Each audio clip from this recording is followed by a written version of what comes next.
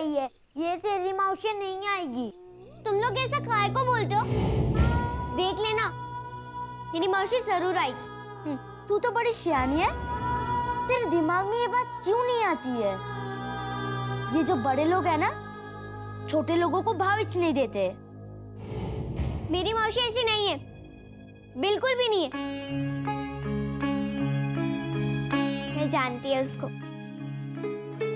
वो एकदम अलग है। तुझे बैठना है तो बैठ। हम लोग जाते हैं। अपन लोग को बहुत भूख लगी है।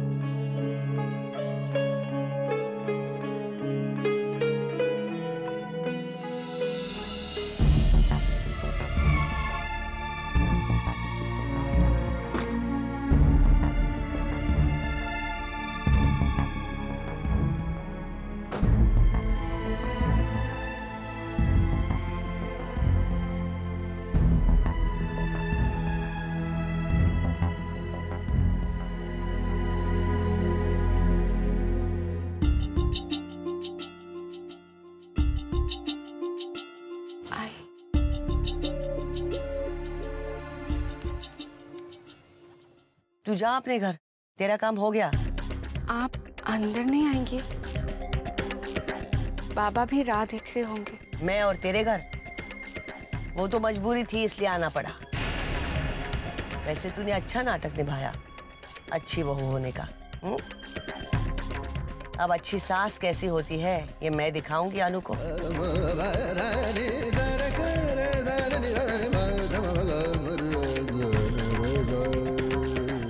ड्राइवर।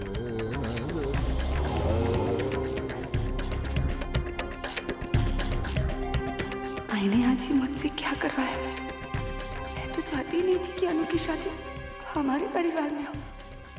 आईने कैसे शब्दों में उलझा दिया मुझे? मुझे माफ़ कर देना ना माफ़ कर देना। मैं जानती हूँ, आई तेरे लिए मुश्किलें खड़ी कर देगी। कभी भी खुश नहीं रहेगी हमारे घर में। मुझे माफ़ कर देना। काश मैं आज घर पर ही नहीं होती। झिलमिल को पढ़ाने। झिलमिल। मुझे तो मंदिर जाना था झिलमिल को पढ़ाने के लिए।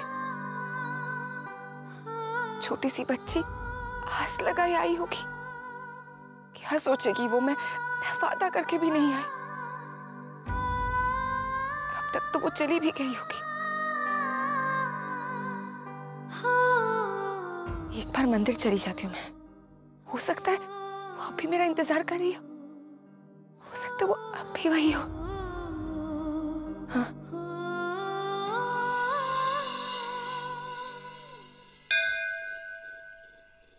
झिलमिल? झिलमिल? छिलमिल? छिलमिल?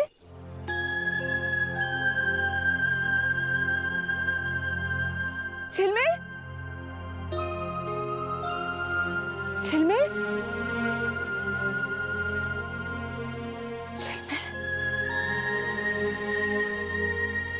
लगता है चली गई।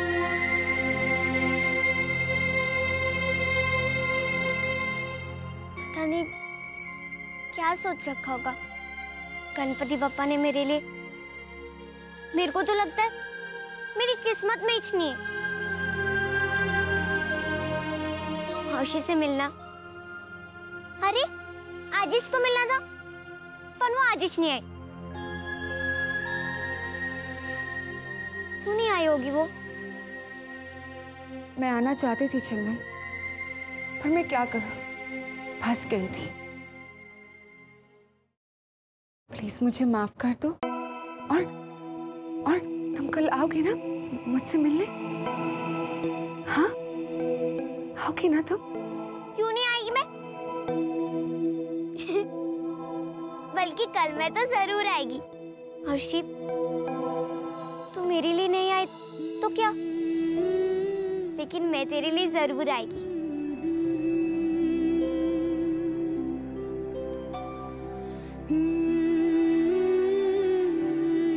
आज तो मैं तुमसे नहीं मिल पाई। पर कल हम ज़रूर मिलेंगे।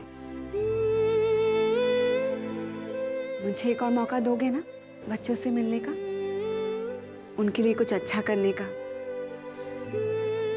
झिलमिल से मिलने का? हाँ? दोगे ना? मुझे एक और मौका।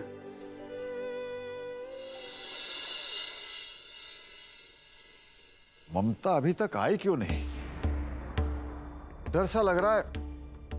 न जाने अब कौन सा नया बखेड़ा वहाँ खड़ा करने वाली है वो।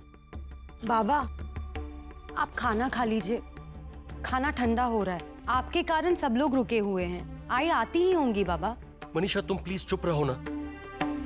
अरे यहाँ पे सांस अटकी है और और तुम्हें खाने खिलाने की पड़ी है।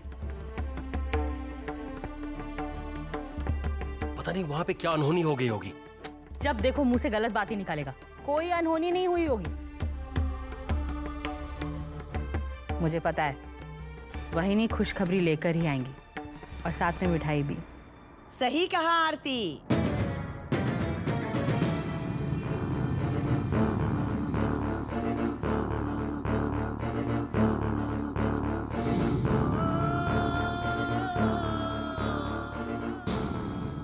खुशखबरी भी लाई हूँ और मिठाई भी लाई हूँ। तो मिठाई खिलाओ ना वही हम्म, नहीं। सबसे पहले वो लोग जिन्हें सबसे ज़्यादा खुशी है। दीजिए जज साहेब।